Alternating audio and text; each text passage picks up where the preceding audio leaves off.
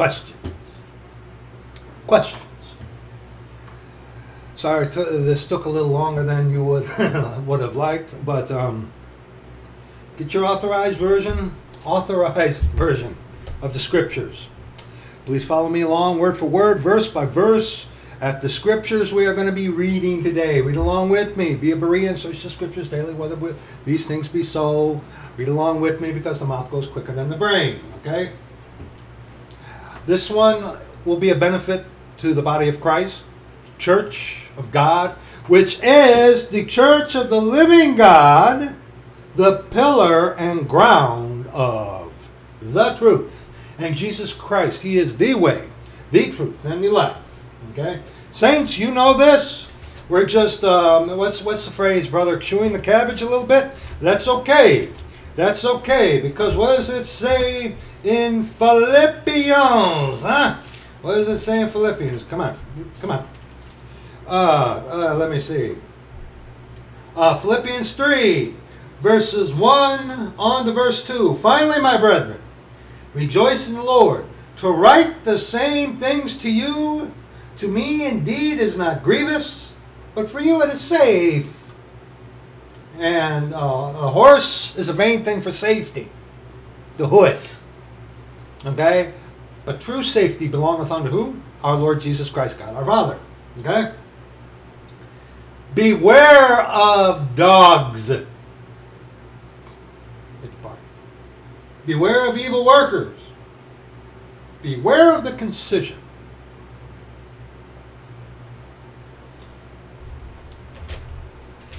Saints, this uh, it is, but it isn't. This is not intended really for you. Um, I was asked this, and it's it's a simple thing, but I've learned that there is a specific dear brother who will ask questions. At first, I'll be like, "You know this," wanting to hear the response. I like that. I like that. Proverbs 30. Proverbs 30. Now pay attention. Two verses, verses 5 and 6. Every word of God is pure, without fault, without defect, nourishing, comforting, humbling, and unto the evil who reject God's word, spiteful. Every word of God is pure. He is a shield unto them that put their trust in him. Look at verse 6. Add thou not unto his words, lest he reprove thee, and thou be found a liar. Now, words. Add thou not unto his words. Okay? Unto his words. People who attack the authorized version of scriptures, um, who are adherents of Rome, who use the Roman Catholic Bible, such as the NIV, uh, John MacArthur's um, LSB. I keep calling it the LSD, but it might as well be. And whatever uh, uh, version that comes from Rome, they will say to us who adhere to the scriptures, well, King James adds words. Okay, you, you, you people who are brainwashed by the Jesuits, you know, they, they often tell you the Greek, which one? they tell you the Hebrew, which one? Okay? Have you tried to read Hebrew? Have you? Do you know that Hebrew goes from right to left? Okay? Do you know that Hebrew, scriptural Hebrew too, especially, there are variations because remember, back when the Hebraic scriptures, the Old Testament was written, I know that's not the only language it was written, and I know, I know, okay? Stay on point, okay? Do you know that it wasn't the Yiddish? Uh, it was a beginning basis form of the Yiddish that is there in Israel today, but not it in its totality. What am I saying? If you've ever tried to read scriptural Hebrew, okay, the words don't blend together as if they have like the and a stuff like that. Whereas in English, there are certain words, connective, connective words that help with flow of structure. Okay? That's not something that you and I, as uh, saints, brethren, need to be afraid of when these Jesuit trained mind control uh, zombies spout off at the mouth about, well, the King James, and yes, they did. For structure, for flow, yes, because I'm telling you, have you ever tried to read Hebrew before? Okay? Have you ever tried? Okay, that that's um that's uh that's uh that's harder than trying to read uh, Japanese or Chinese. Similar but different, okay? And even Korean, all right? They're, they're, they're different. I mean, and remember, Google Translate can go only go so far, okay? But that's not something we need to be afraid of as saints when they throw that at us, okay? And the funniest thing is, these guys who say that to us ought to be aware that scriptural Hebrew is doesn't flow in our dialect of English as it would uh, someone who is versed in Hebrew and know and reads it fluently. Okay, so don't be afraid of that. Okay, actually, it's like you know when you get one of these guys who've been brainwashed by the Jesuits. Yeah, God said you need a degree or you have to go to the original, like that idiot Andy who attacked our dear brother. Um, you know, it's like throw it back at him. It's like, well, you of all people ought to know about the scriptural Hebrew and reading it from left to right, and that there are certain words that are in English that, that are not in Hebrew. Okay, but God chose English as the seventh and final purification for His word. End of story. Okay, but, all right, verse 5 every word of God is pure. Every God, word of God is pure. Okay, we're just going down through a basic rundown here, brethren. Bear with me. Saints, you know this. This is not intended for you entirely. Okay? Proverb, uh, Psalm 12, verse 6 and 7. The words of the Lord are pure words. As silver tried in a furnace of earth, purified seven times. The seven language purifications that the Word of God came through to arrive at its perfect, inerrant, final product for us today English the authorized version. Okay? We have a perfect standard. Christianity, Christians, Roman Catholics, especially Christianity, doesn't have a perfect standard except the Jesuit trained seminarian pastor or the Jesuit priest who tells them what to think. Okay? The words of the Lord are pure words. One second, please. One second they are. Sorry about that. Had to. We're in an apartment, and if you have uh, certain electrical appliances plugged in on the same line, we blow fuses. So anyway, you needed to know that. The words of the Lord are pure words. As silver tried in a furnace of earth, purified seven times. And the Bible's mess verse seven, verse seven up all the time usually. Thou shalt keep them, the words, O Lord. Thou shalt preserve them from this generation forever. Okay, and you ask a Christian, okay, is there a perfect set of scriptures out there? Well, well, there are some like who read the authorized version. It's like, well, King James is just the best one we got. But is it perfect? No. They say no, it isn't. They're trained that way from Rome. Okay? Saints, we know we have a perfect standard. The authorized version is perfect. There are no contradictions in there. If there's something that seems to be a contradiction, usually it is uh, solved by rightly dividing or looking a little deeper into it. Okay? Very simple. Very simple. Psalm 19. Psalm 19. Verses 7 on to verse 11. The law of the Lord is perfect, converting the soul. The testimony of the Lord is sure, making wise the simple.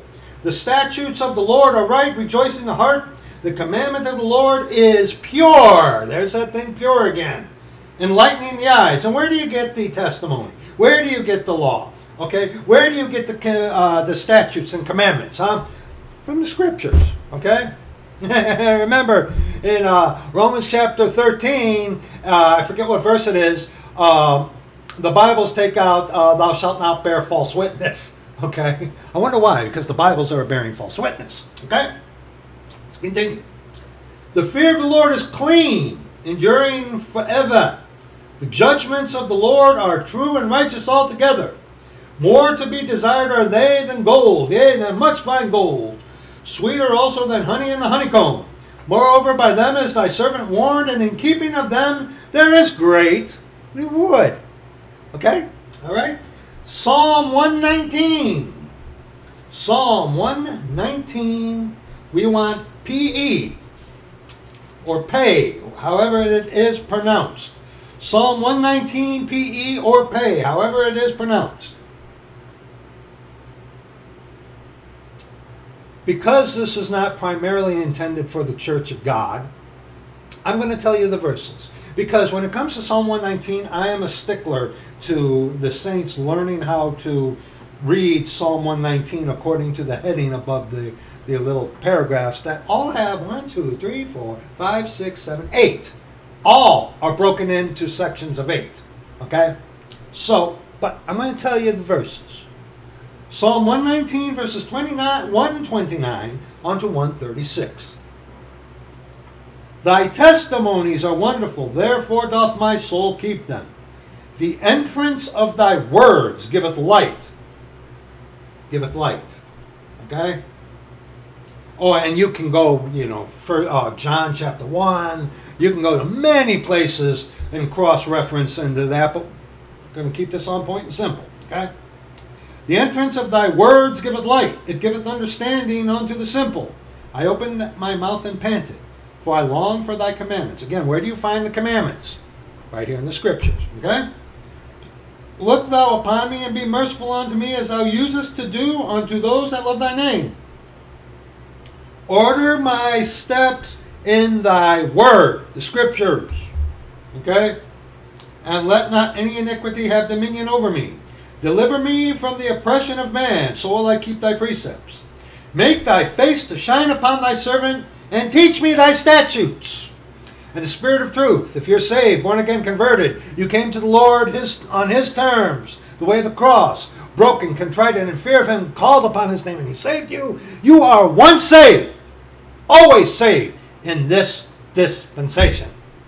Okay? You are not once saved, always saved, you wicked heretics, in the Garden of Eden, in the uh, patriarchal period, or under the law. Okay? And the only ones that are once saved, always saved, uh, during the time of Jacob's trouble are the 144,000 Jews. Okay? All right? You Jesuit coadjutors. Okay? One, uh, verse 136. Rivers of waters run down mine eye, eyes, because they keep not thy law. Christians, Christianity, the world does not keep Scripture. Zanai, now, verses 137 on to verse 144. Okay? Righteous art thou, O Lord, and upright are thy judgments. Thy testimonies that thou hast commanded, commanded are righteous and very faithful. My zeal hath consumed me, because mine enemies have forgotten thy words. Willfully, too. Thy word is very pure. And NIV ain't pure. John MacArthur's version, Mr. Jesuit James White, is not pure. Okay? The non King James version, anything that comes from Rome is diluted with dung. Okay? And the Bibles come from Rome. You're right, Catholic. Your church, Satan's church, gave us the Bible. God gave us the scriptures. You're right.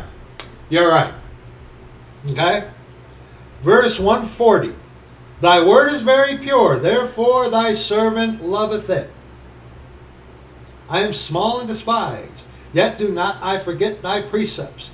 Thy righteousness is an everlasting righteousness, and thy law is the truth. Trouble and anguish have taken hold on me, yet thy commandments are my delights. The righteousness of thy testimonies is everlasting. Give me understanding, departing from evil, and I shall live. Now, see, we as saints, in Mem, uh, Psalm 119 Mem, from uh, verse 104, that through thy precepts I get understanding, departing from evil. Therefore, I hate every false way. I hate Rome. I make no bonds about that. And I hate all the perverse daughters of Rome. Every single one of them. I don't hate the Catholic person, spirit, soul, and body. Okay? I don't. Because most of the Catholics that you are going to run into, most of these Christians are brainwashed by the Vatican. Okay? It's when someone has made the conscious choice to serve Satan, they are our enemies. And I'm thinking of one specific beautiful bloke when I say that. Okay? But we as saints, we are to hate every false way. We're going to deal with that in another video. Okay? But also look at Psalm 119 Ain or verse 128. Therefore I esteem all thy precepts concerning all things to be right, and I hate every false way. Okay? All right. Now, now, we have just looked at basic gleaning over the surface uh, verses and scriptures that uplift the scriptures. There will be a couple videos in the description box for you to consider. And if you wanna, if you don't want to watch them or go through the scriptures and whatnot as we do in those videos, uh, that's your problem. That ain't my problem. That's your problem. Okay? Today in this dispensation, you see, you got to rightly divide the word of truth. Okay? We're not, it's not one method of salvation from beginning to end, as so many Christians want you to believe. It's not like that at all. Okay? It's not, people. It's not. Okay? You have to rightly divide the word of truth. Links in the description box. Okay? If you don't want to watch those or go through those and you watch this and you spout off at the mouth, I'm going to block you. Brethren, go ahead and get rid of the comments. You you guys can block people too, so go ahead. If they if they, this is going to be hopefully really short, so someone with the attention span of a gnat can watch it. Okay, so in Revelation chapter 22, verses 18 and 19. Okay? Now, very quickly, in, in Proverbs 30, I want you to notice something. The, the references that we looked at already, have you noticed something? What did you notice about them? Think, what did you notice about them? They were not specifically targeting a specific book in Scripture, were they? They were speaking in the sense of a general sense, like, hey, don't mess with God's Word. And what does the Vatican do? Okay? What does the Vatican do? Okay? They give you Bibles that can be traced back to Alexandria, Egypt, okay? Loaded with contradiction, take out verses, demote Jesus Christ, teach that uh, uh, work salvation, you know, you're not saved, but you're being saved. And you know what? The one book in all of Scripture that Rome has messed with the most? That be the book of Revelation. Because the book of Revelation, as we addressed in yesterday's video, uh, well, we addressed the, the premise that Satan is very well aware of the Scriptures, and so are the devils. They know exactly what is in here. They believe the truth, but they just reject it, okay? We, we talked about that in yesterday's video. Okay? We did. Satan is very well aware of his demise. And the one book in all of Scripture that categorically, I mean, there are others, but is really beyond a shadow of a doubt that number one tells us the destruction of Roman Catholicism in Revelation chapter 18 and how Satan himself is going to be cast into the lake of fire. Okay? Satan, who wants to be God, I will, I will, I will, I will, I will, okay? Okay? He knows what this says. He doesn't like it. He knows it's the truth. What is he going to do? what is Satan going to do? Okay? Satan can't take our soul, kill our soul. He can't do that. Okay? He's not God. All right? So, this important book, the book of Revelation, is a foretelling of what is the demise of Rome and of Satan okay? And how the apple of God's eye, the Hebraic Jewish people, not the Hamites or not us Japhethites, we're not even uh, most Shemites, okay? But how Israel is going to turn back to the Lord and accept their Mashiach, okay? Right? But the the the references that we looked at, okay, are not specific. Were not specific onto one specific book. We, we're not even touching about in uh, First Timothy, you know, all scriptures. We, we don't need to. We don't need to. Okay. You can make the argument, well, it's a dispensational thing, and blah. That, you can't make that argument, but overall, what is clear from Scripture itself? Don't mess with the Scriptures. Don't mess with them. Don't mess with them. Okay? If you do, you're in trouble with the Lord. Now, the question comes a saint, someone who is saved, born again, converted of the church of, of the living God. What happens if a saint does that? Well, I I I really have a hard time trying to fathom whether or not a saint, an actually saved individual, would knowingly, purposely, knowingly and purposely pervert the word of God. Okay? As meanings to deceive. We, hey, we can deceive ourselves, we can fool ourselves, okay, same thing. But, but, here's the thing. In this dispensation, we are once saved, always saved. We are once saved, always saved. Okay? And we're, we're going to touch on the, in another video, hopefully here, uh, this thing about the unpardonable sin. with that, we don't have to worry about that today. Okay, we don't have to worry about that today. We'll, we'll deal with that later. Okay, but but the references that we looked at, okay, like I said, uh, you know what, well, you know what? Here, let's let's go to Paul. Uh, what the Lord said through Paul about uh, all Scripture is given by inspiration of God and is profitable, just just to just to silence the gays, the naysayers. 2 Timothy 3 verses 16 and 17 all scripture. And the Apocrypha is not scripture because it contradicts the canon already that God chose, not Rome. Okay? All scripture is given by inspiration of God and is profitable for doctrine, for reproof, for correction, for instruction in righteousness, that the man of God may be perfect, thoroughly furnished unto all good works. I told you that would work, brother. Anyway, okay, so there's the reference in Timothy. Now go back to Revelation chapter 22. Here's the question. Here's the question. Come on. Here's the question. Revelation chapter 22, verses 18 on to verse 19. Now, references that we have looked at didn't target out a specific book, did it? No, it didn't. Look at this. For I testify unto every man that heareth the words of the prophecy of this book. Now, now, now, here's the thing. It says there, this book.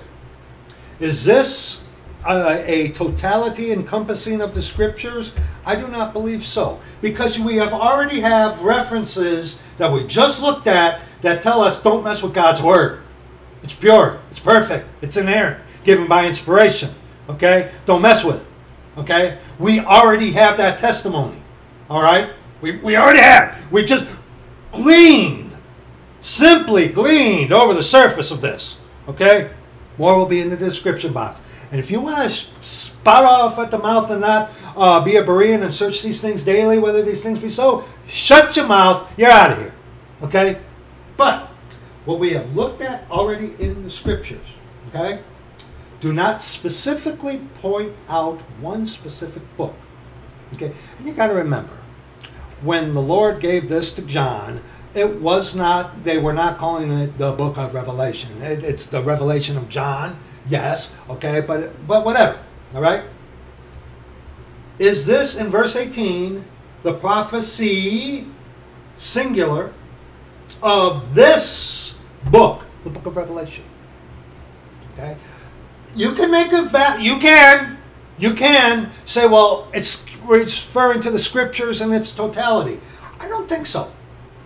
I don't think so. We have, like I said, we already got the proof that don't mess with God's word. Why is it so specific about this one, the book of Revelation? Because, like I said, it talks about the destruction of Rome and how Satan's going to be cast into the lake of fire, just like all of you who follow him. Okay? And, like I told you, you can do the work on this yourself. The most messed with book of the Bibles is the book of Revelation. And you even got Catholics trying to tell people that these events already happened already. Okay?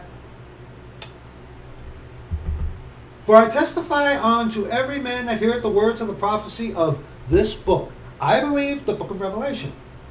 If any man add, shall add unto these things, God shall add unto him the plagues that are written in this book. Again, this book. Is it the totality of the scripture or is it this book specifically? I believe it is this book specifically. Okay? I do. Because, like I said, we've already got the admonitions that don't mess with God's word. And they're not signaling out a specific, like Deuteronomy or Exodus or the Psalms or the Proverbs. Okay? They make reference unto the law and the testimony. Yes, they do. But not singling out a specific book. Okay? Verse 19. And if any man shall take away from the words of the prophecy, words sing a plural, prophecy singular. Okay? God shall take away his part out of the book of life and out of the holy city and from the things which are written in this book. Okay? Now, you and I, as saints, okay, we've already looked at the admonitions. Okay? But for us to use this today, we can. Okay, it's it's even greater admonition to be like, hey, don't mess with God's word. Okay, you're asking for trouble. But does that mean if someone, a saint today, were to do, God forbid, this and take away and add to, that we would lose our salvation? If that were the case, then we would have a big problem, uh, doctrine contradiction, wouldn't we? And you know that, brother. You know that. Okay? I have heard people, when it comes to this, and especially Christians, well, that's only that's just for the book of Revelation. I agree. I agree. But see, you got to remember some things. The book of Revelation is written more so for the Hebraic Jews who are going to be going through the time of Jacob's trouble. Okay? Okay? The time of Jacob's trouble is by faith and works. Okay? It is not by grace through faith. Don't believe these uh, sleazy believist uh, uh, Christian. Ugh, just don't believe them, okay? All right? All right? It's not. It's by faith and works during the time of Jacob's trouble. The only ones that have eternal security are the 144,000 Jehovah's Witnesses. No. Hebraic Jews, sealed out of the 12 tribes, that appear in significance again during the time of Jacob's trouble. Okay?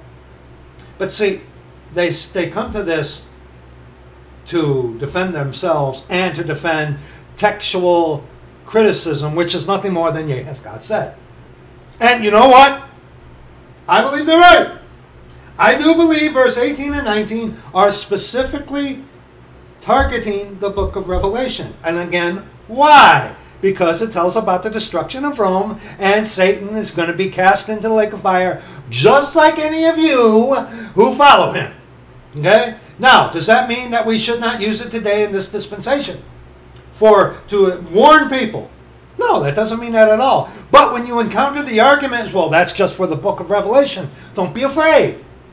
It's like, I, I, you're right. But then again, you got all these other verses. Look at this. Go back to Proverbs 30, verses 5 and 6. Every word of God is pure. Every word of God is pure. He is a shield unto them that put their trust in him. Add thou not unto his words, lest he reprove thee and thou be found a liar. Now, that is in a general sense. Show me otherwise. Okay, that is the book of Revelation. Okay, the book of Revelation. These verses specifically, okay, are, I believe, verses 18 and 19 are indeed targeting the book of Revelation. But see, through the scripture, we already have the testimony don't mess with God's word. Don't do it. And what does Rome do? They mess with it to cover their backside. So, in answer to your question, brother, no. No. We will not lose our salvation today, even if we even if a saint a saint were to do that. Or else we got a problem. Then, you know, I mean there's countless scriptures if this were the thing that would contradict eternal security for us today. I mean, and you know that. You know that just as well as I do. Okay? And you got to remember, eternal security is not there except for the 144,000 Hebraic Jews during the time of Jacob's trouble. Okay? Don't be afraid to use this. Okay? But remember, you will encounter, trust me, you will encounter uh, someone who is brainwashed by the Vatican. This, well, that's just ta- talking about the book of Revelation. You're right. And the church and God that you serve has messed with this book, the book of Revelation, more than anyone in Scripture. Throw it right back at him. Okay? So, the answer to the question is, brother, no. Okay? Got to rightly divide. And like I said, there will be links for you guys in the description box about this. Okay? So, the answer to that question, brother, is no. All right? All right? Again, if you want to talk about it, uh, look, you want anybody, anybody who's a brother. I don't waste time with heretics, and you try to you try to talk to me using something that's not the scripture. I'm not going to listen to you. I'm not going to listen to you. Want to talk to me? If You want? Please, through the scripture, through the authorized version. You come to me, dude. Dude, you were using the ESV. Well, no, and doing all your textual criticism stuff you know, Yehath God said, ah, you, you're barking up the wrong tree, pal. I, I'm not going to converse with you. Okay? So, anyway, that's going to be it for this one. There will be links in the description box for you to consider. Okay? So, uh, that's it for this one. I love you. See you in the next video. 拜拜。